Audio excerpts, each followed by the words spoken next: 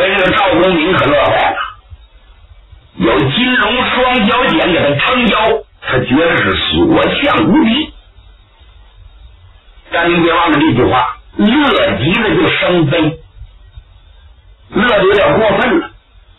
一物降一物是如水点豆腐，能人背后有能人，好汉背后还有好汉。人比人得死，货比货得扔。燃灯中一看，就知道赵公明这小子有主心骨了，看出来了。燃灯把路往前一推，这才打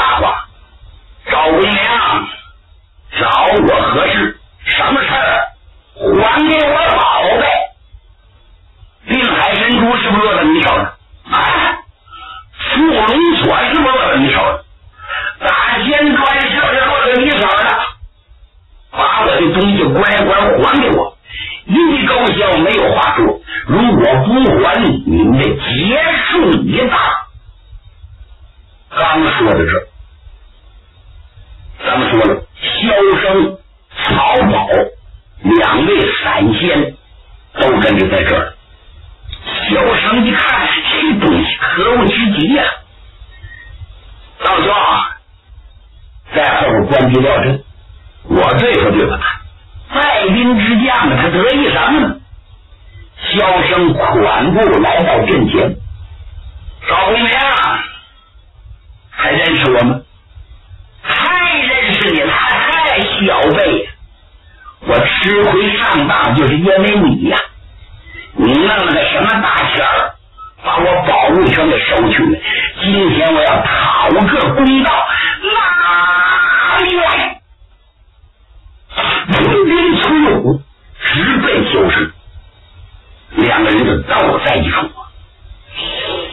赵公明心说：“看看我妹子这个宝贝好使不好使？”十几个回合之后，他一伸手取出金龙双脚剑，嘴里念念有词。云霄娘娘告诉他，全记住了。那那那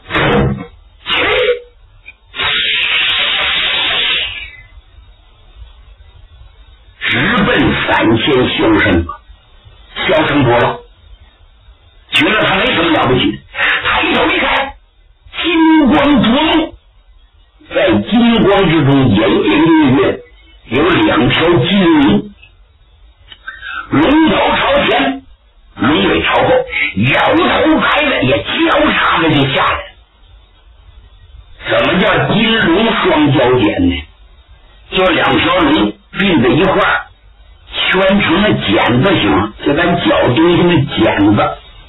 就是那种东西，但是是龙身，唰一下就下来。萧生还没等看明白是什么东西，刚要掏落宝金钱，呜溜的东西下来，躲闪不及，咔嚓的一声，腰断两截，一下就给绞在这儿。这散仙多大的道行？这一下全交代，一道灵魂是。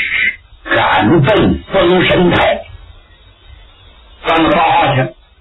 榜上有名，逃脱也逃脱不了。众人在后头看着，无不惊骇。善哉，好厉害！刚说到这，散仙曹宝气炸连肝肺，挫碎口中牙，提宝剑就冲上来。赵公明，我让你别！何宝剑过来玩命，赵公明一看，脚的一个也是一个，脚俩也是俩，反正开杀戒，脚的越多越好。唰，把金龙双脚剑接接出来，唰的一下，曹宝躲闪不及，咔嚓，腰断两截，一道灵魂到封神台报道去了。一眨眼，两位大仙双双毙命。燃灯，你过来，跟你玩不了。善哉！燃灯，你看这怎么办呢？你说不过去吧，人家指名道姓；过去吧，就知道这宝物厉害。刚一迟疑之时，赵公明是掐诀念咒，双脚剑是直奔蓝灯。蓝灯一看，跑，扔一窜，他窜出去了。这一大剪子正掉到梅花鹿上，咔嚓一声，把梅花鹿腰断两截。这梅花鹿不是普通的鹿啊，修炼了也上千年的，唰一下腰在那儿。各位大仙一看，无不惊骇，脚下银光是纷纷逃离。双脚也收回，我的宝贝不还给我，你们一个也好不了。收兵，露了个全脸收回了。文仲乐，这什么宝贝？怎么这么厉害？要这样嘁哩咔嚓搅下去，都把他们搅死了，那咱就打了胜仗了。哈 哈哎呀，看来道兄不虚此行啊！那是当然的。还有好东西，只要我妹子一点头，我要把会元金口再借来，元始天尊我也不惧。你就瞧好吧，你。文仲传令，开酒祝贺。人家这块打的胜仗，什么心情？单说燃灯众人拜回接仙台。一个个是紧锁眉头，唉声叹气。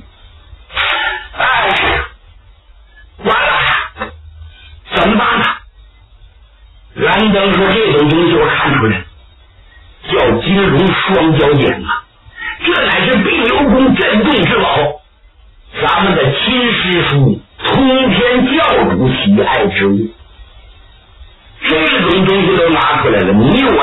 哪能抵挡得住？”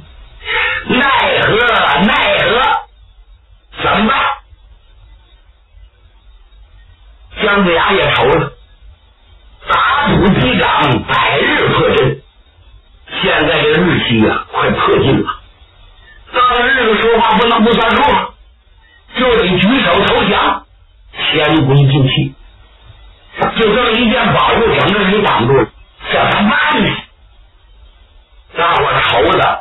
等到到第二天，赵公明讨去骂阵，只好高挂免战牌不战。一晃就是三天了，没敢出门都。赵公明嗓子都喊破了，说那话是极其难听，不敢出去。到第四天，群仙正在接神台上发愁的时候，就听空中说话。各位道兄，莫急，某到了。落在接仙台，众人一看好，来了小个，就这么高。小个不高，有个粗实劲儿，挺粗，圆圆的脑袋，娃娃脸儿，他就是不乐，你看着也像乐。眉毛往下耷拉着，嘴角上翘着，长得是圆咕隆咚、矬咕隆咚、压咕隆咚、墩咕隆咚，没地方墩，跟个大皮缸成精一样。娃娃脸，西不楞登画白胡，满脸都是笑容，说话多少的有点嘶哑就上劲，画了个兜子，那个苍蝇说，苍蝇说就那浮尘呢。也太节约点儿，上头能剩那么二十多根毛，还在那倒着呢。见着大伙之后，打几手魏俊，善哉善哉，各位道兄听好啊！我来了，都认识他，神仙之中的宝贝，姓陆叫陆压，这陆压是散仙呐，别看是散仙，人品端正。道德高深，他是无拘无束散仙嘛？按现在词说，也是个体户，无拘无束啊，没事是云游四海，到处为家。不知道今儿怎么心血来潮，跑到西岐来了。冉登一看是他，赶紧起身让座。高兄，你怎么来了？哎，我这人各位听好，听好，听好，坐坐坐坐坐，不客气了啊。哎呀，各位啊，我正溜达的时候，一阵心血来潮，我掐指一算呢，知道你们摊事儿。听说赵公明这小子，还挺厉害，在什么三小岛借了金龙双脚锏，这家伙任意胡行啊！恐怕各位都害怕了吧？我就是替你们解难而来。人家说话一点不过分，没有一个挑理的。是啊，是啊，是啊。燃灯就说：“煞是厉害呀！那么老兄，你来的太好了，不请自来，这才叫够朋友。那么你说，怎么能破得了金龙双胶卷？怎么替我们帮个忙？那剪子不剪子没关系，那是次要。宝贝不就人使唤吗？嗯，我听说了。”人家那头是左道旁门之术，咱这面进去那吃亏的，咱就不行，叫他吃点亏。嗯，这叫以其人之道还治其人之身呐。嗯，以牙还牙，以邪驱邪，他玩邪的，咱比他还邪。我深知各位都是上级，你们不能干这事儿，可我能干啊。我无拘无束啊，我不怕旁人骂我。哎，我出个主意，用钉头旗剑书把赵公明直接死罪，他死了不就完了吗？什么金龙双脚点这个那个，咱回去试了。什么叫兵头七剑书？咱这招啊，损点。还是那句话，以邪治邪，是他们惹的。这个怎么使用呢？这个您别着急啊，明天呢，我去跟赵公明见见面，然后回来，我再把具体的办法告诉您各位。他回听好吧，不便多问。第二天开兵交阵，赵公明气得呼，得意的不得了，哇哇！直叫啊！一看对面来个矮胖的老头，不认识。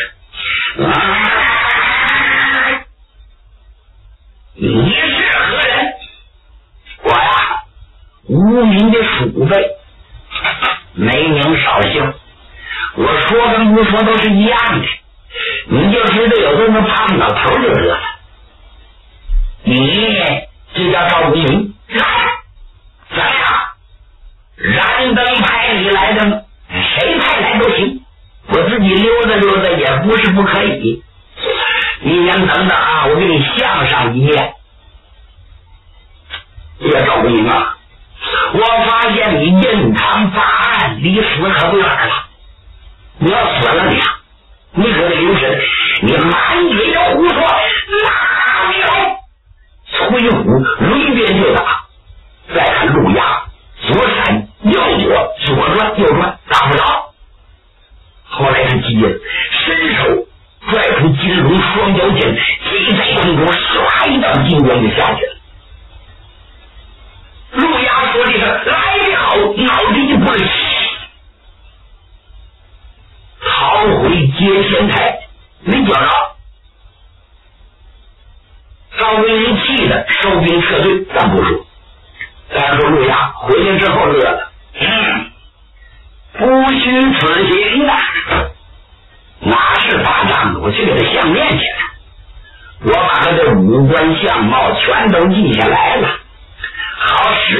的绝招钉头七剑书。这样吧，我说这谁说了算？把姜子牙给找来。姜子牙赶紧见礼啊！姜杀，我姜丞相。这个，你手下有好手艺人吗？按着赵公明的个头长相，发一草人，也就那么大个穿上的衣服，戴的帽子要跟他一模一样。我画一张图啊，按着我这图办事。他画画画挺好，画完了往这一挂，大背上活灵活现，呼之欲出，真有两下子，就按这样。嗯，我好准备冰头七剑术，草人扎好了，也穿着真衣服，戴上真帽子，手里拿着把鞭，跟真的是一模一样。往这一戳，大伙一看，真的。要晚上一看，就是赵公明在这站着呢。陆亚称赞不已，好，好啊！我姜子牙，你呀笨蛋，你别在城里，也别在这儿，你选择一块肃静的地方。我来的时候我路过岐山，岐山的深山老林挺多，你选择一块安静的地方，带点军队，在周围驻守。防止闲杂人出入，你呢再搭个土台，土台高下不超过三尺就可以，那叫法台。你把这草人放在法台之上，放，我教给你。咒语，每天早中晚三次。你。就拜这赵公明，按我的咒语办事，指定拜给他神魂颠倒。到七天头上，我去找你。去。我找你。去，我要一露面，他是准死无疑。记住了吗？啊，记住了。另外，桑木弓，桃木剑。你准备准备，桑木俩，别的木头不行，那一张小弓就可以。这桃木剑三支都在尖儿啊，再准备朱砂，纸马相克，应有尽有。你按照我所说，你去办去。赵明明离死可不远了，交代的清清楚楚。这姜子牙敢违背吗？雷厉风行，马上行动，带了三千军队，带着南宫轲，带着辛甲两员上将，偷偷的进了岐山，选了一块好地方，周围是山，中间是盆地，比较平坦。三千军队干什么不快？时间不大，修了一座法台。高三尺，马上把它砸的结结实实，也有台阶儿。法台挺宽大，坐北向南摆了一张桌子，用黄钱纸都铺好了，转圈都是狗油灯，大铜碗搁上狗油，里头有面，晚上使用。正中央周围准备的黑龙旗、白虎旗。七星旗、北斗旗、五星旗，各种旗号被风一吹，姜子牙就按照陆压所说，早中晚三次拜这草人，这草人儿前面一呆，跟真的一样，就戳在那儿，对准他这一拜不要紧，一天、两天、三天。这三天不开兵见仗，谁也不让姜子牙干什么去。接仙台上的群仙都在那闭目养神，养精蓄锐。再说这赵公明没拜那时候可高兴了，天天吹牛啊！各位看见没？打的他们闭门不出啊，连面都不敢露了。没问题了，我这宝物在怀，天下无敌。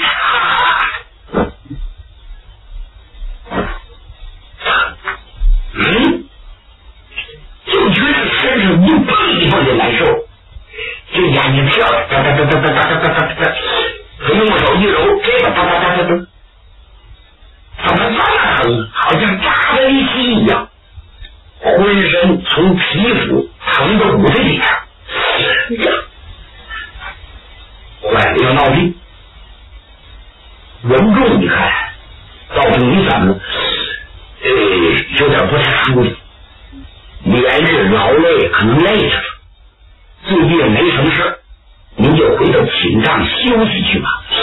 说头有点疼，啊，我躺躺就好了。我也不在乎这。站起身来，回归寝帐。第二天脑袋疼的更厉害，你说这眼珠子眼镜疼哎！哎呀，你不行，得吃点丹药。把丹药拿出来吃了几粒，那是丹药是神药啊，吃上就好。你说邪门不？不吃丹药疼还能忍住，吃完这个丹药忍不住。哎呀！疼的赵公是就地翻滚，咕噜咕噜咕噜，脑子撞墙。文忠一看不解气呀，你怎么病的这么重啊？怎么了？哎呀，这是怎么回事？我从来没遇上过这麻烦，疼痛难忍。六个天军也来了。一看也傻眼了，看不出什么病来。你你赶紧躺下休息休息，哎，也许静一静就好了。哎呀，我头疼的厉害，各位别说话，我心里也发烦。躺下他睡了，拜到四天头起不来，就像那姜子牙似的，把魂儿给整丢了，酣睡如雷。但他跟姜子牙不一样，姜子牙不疼，他疼。有时候睡睡不醒，有时候疼起来嗷嗷直叫啊！在这第五天头上再看赵公明，那脸都苍起来，有这么难受，肚子也鼓起来，那人都走形了，五官挪移，性命难保。